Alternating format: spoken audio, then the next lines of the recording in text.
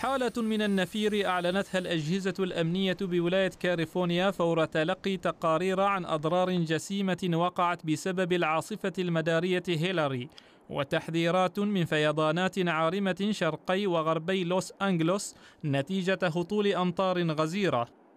هيئة الأرصاد الأمريكية ورغم خفضها لتصنيف هيلاري من إعصار إلى منخفض مداري إلا أن حاكم ولاية كاليفورنيا أعلن حالة الطوارئ في معظم المناطق الجنوبية لولايته بعد إصدار تحذيرات من حدوث فيضانات في المناطق الصحراوية بشكل خاص بسبب مخاطر الفيضانات العارمة.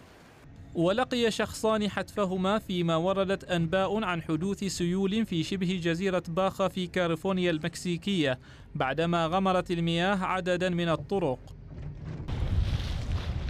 وإلى شمال شرق اليونان تواصل اشتعال حرائق الغابات لليوم الثالث على التوالي على مدينة إلكا ساندروبوليس الساحلية فيما اندلع حريق آخر في شمال أتيكا.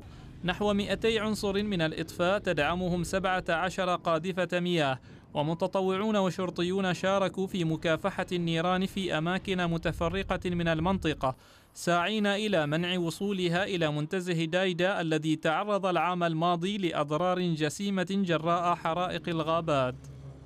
السلطات اليونانية سارعت إلى إخلاء نحو عشر بلدات محذرة من خطر نشوب حريق ضخم في منطقة العاصمة أثينا ومناطق أخرى في جنوب اليونان.